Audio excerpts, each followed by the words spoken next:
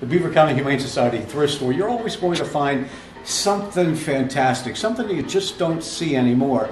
And today we'd like to focus on this piece of furniture that was made, handmade, back in the 1930s. It's a black walnut cabinet. It was made by a gentleman named George Henneman. It was done near Pittsburgh from 1930, 1931, and 1932.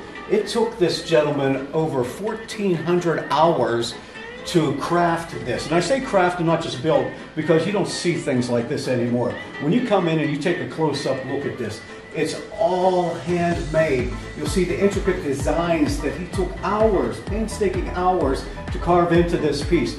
Polished, nailed, and put together. There are various uh, levels of this. This, this is just a top piece.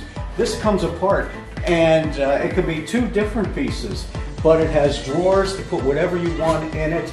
This was done with love and attention, and the person who owns the estate wanted to donate it to the Beaver County Humane Society to help the animals. That's what we're all about, and we hope you're all about this piece of furniture as well. And you come in and look at it, and you see the fantastic price we have on it.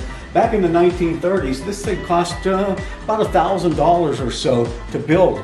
But you take that and you move it up about 90 years, and you see that this is in pristine condition, and it will look marvelous in your home get here, 1900 7th Avenue, Beaver Falls. It's the Beaver County Humane Society thrift store. It benefits the animals at the Beaver County Humane Society, and that's what the estate planner wanted for this to benefit the animals.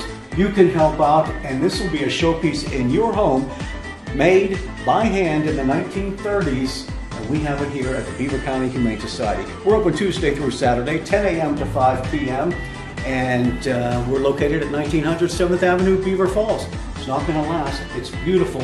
You'll never see another piece like this.